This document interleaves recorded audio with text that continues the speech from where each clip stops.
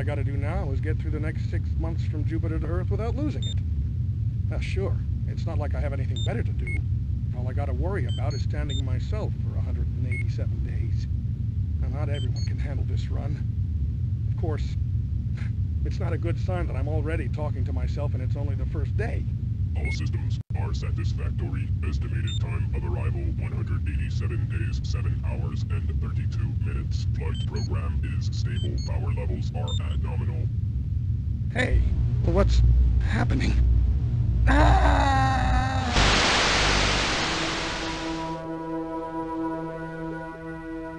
Where the hell am I?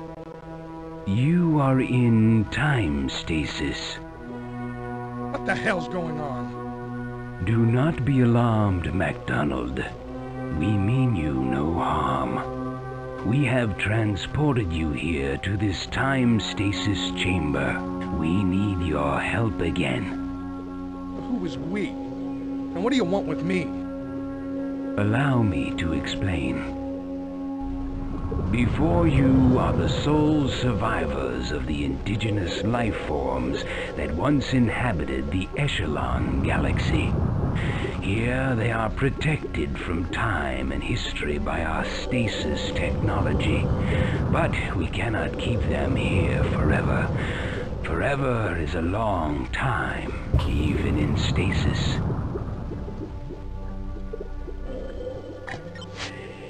This is Echelon as it is now. All the star systems are shown in red, which means they are occupied by microids. They are an aggressive life form that travel from planet to planet, wiping out everything in their path. Now they are threatening to invade my own galaxy, MacDonald. You must stop them. This isn't my problem. It is indeed your problem. When the microids are finished with my galaxy, yours is next in their path. What can I do? You must undo what you have already done. The microids must be eradicated before they can spread through Echelon. Wait a minute. You said that they've already invaded that galaxy. This is Echelon as it is now. And this is as it was 10,000 years ago. As you can see, only one star system is occupied by the microids. This is where you must begin. That's impossible. There's no way. We will supply you with a ship that can carry you in time as well as space.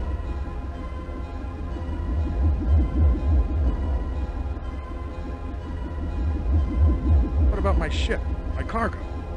You are going back in time. If you are successful, it will be as if you never left. We shall return you to the exact moment we extracted you. Mm-hmm. Or say exactly 187 days after. Well, just answer me one question. What did you mean when you said you needed my help again? We have done this before, MacDonald. See to it that history does not repeat itself. Be careful and good luck. Angus will look after you.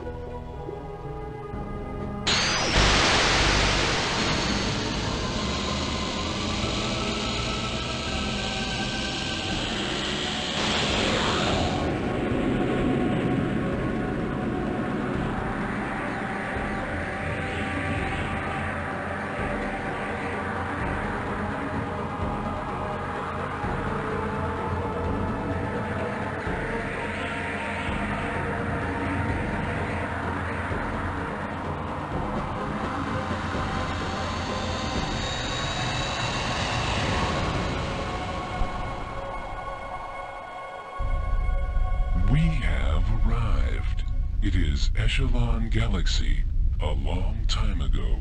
I am Angus, the ship's computer. I am at your service, human. Good.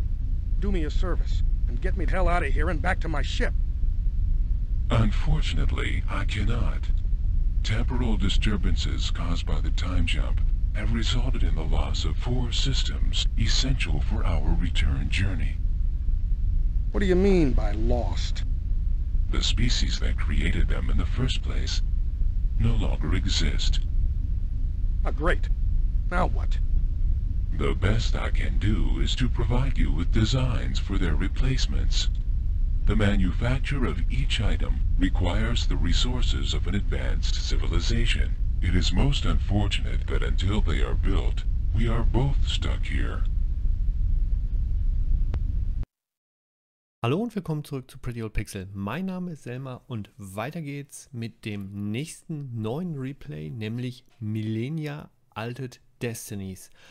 Das ist ein Spiel von Iron Bird und ich zeige das gleich in dem Unboxing auch noch mal kurz. Der hat Spiele gemacht, die mir sehr viel Spaß gemacht haben damals und mit denen ich oder an die ich auch schöne Erinnerungen hatte und mit denen ich viel Zeit mit meinen Freunden verbracht habe. Und zwar ist das Millennium Return to Earth und Deuteros The Next Millennium oder Deuteros The Next Millennium. Ähm, wir haben natürlich immer Millennium und Deuteros gesagt, von daher war das jetzt irgendwie auch noch drin.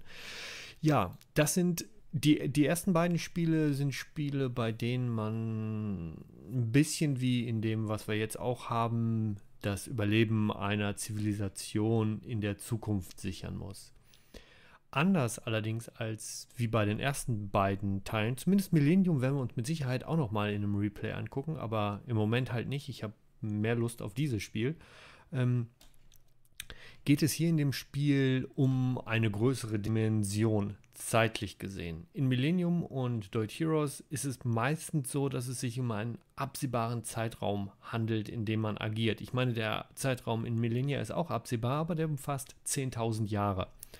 Und ich kann mich wirklich nicht mehr so richtig an das Spiel erinnern. Ich erinnere mich daran, dass wir ziemlich fasziniert waren von den Möglichkeiten, die, ihr habt es im Intro ja gesehen, dieses ganze Zeitreisen und Beeinflussen mit sich bringt, waren aber verwirrt, was das Interface oder die Auswirkungen angeht, die man mit gewissen Aktionen gemacht hat. Wir haben es nie geschafft, wir haben immer verloren. Wir wussten aber eigentlich auch nie, was man richtig macht. Und ich habe mich am Wochenende hingesetzt und überlegt, welches Spiel ich als nächstes spielen möchte und ich hatte Lust auf etwas, was so ein Mysterium in der Vergangenheit war und wahrscheinlich in der Zukunft auch noch ist. Ich hoffe, anders wie bei Stronghold wird es mich positiv überraschen, aber wir werden mal sehen. Ich glaube, damit hätte ich auch schon eigentlich alles umgerissen. Der Critic Score liegt bei 59 bei Moby Games, aber der User Score liegt bei 3,9. Also 59 äh, sind 59 Prozent und der User Score 3,9 ist halt dreieinhalb Sternchen von fünf, könnte man sagen. Also wird das von den Nutzern wesentlich besser angesehen wie von den Zeitschriften der damaligen Zeit. Ich bin wirklich gespannt, wie es weitergeht. Und bevor wir zu den ersten ein, zwei Folgen, in denen ich da blind einsteige, gehen, äh, schauen wir noch mal kurz in die Box. Ja, das ist eine schöne Hochglanzbox sozusagen. Äh, darum ist das mit dem Licht jetzt auch so ein bisschen komisch. Ist bunt, hat eine komische Figur da irgendwie drauf. Also ich, ich, weiß auch nicht, das englische Cover hat halt das äh, Raumschiff aus dem Intro draus, was ein bisschen besser ist. Genau, und hier ist das Millennium. Ähm, man sieht, die Cover haben eigentlich nichts gemein, aber sind beide von dem gleichen Entwickler und da wird hier auch nochmal drauf eingegangen, äh, wenn sich das jetzt schärfer stellt, bei Iron Bird. Genau das war das, was ich eben schon mal gesagt hatte. Ganze wurde von GameTech publiziert im Jahr 1995 und ist nur auf CD-ROM rausgekommen. In dem äh, in der Box ist nicht mehr viel drin. Da ist jetzt noch das Handbuch drin, was ziemlich dünn ist, was einfach nur so eine Broschüre ist, könnte man sagen. Und da sind wirklich die Teile des Raumschiffs erklärt. Ähm, das ist jetzt nicht so wirklich selbsterklärend und man muss so ein bisschen ja damit kämpfen, glaube ich, was die Steuerung angeht. Ich kann mich noch daran erinnern, dass man ähm, so eine Hand steuerte, so ein Finger. Und aus den Screenshots, die ich jetzt gesehen habe, äh, glaube ich, lag ich da auch richtig. Ja, dann ist die CD da drin. Ich weiß nicht, ob das in der Hülle ausgeliefert wurde. Die war jedenfalls bei meinem Spiel dabei. Und dann ist hier noch so ein kurzes Stück der Anfang drin. Da dachte ich, das lese ich euch gleich nochmal vor. Aber das ist eigentlich genau das Intro. Ja, ich hoffe, es hat euch gefallen und wir sehen uns beim nächsten Mal. Tschüss!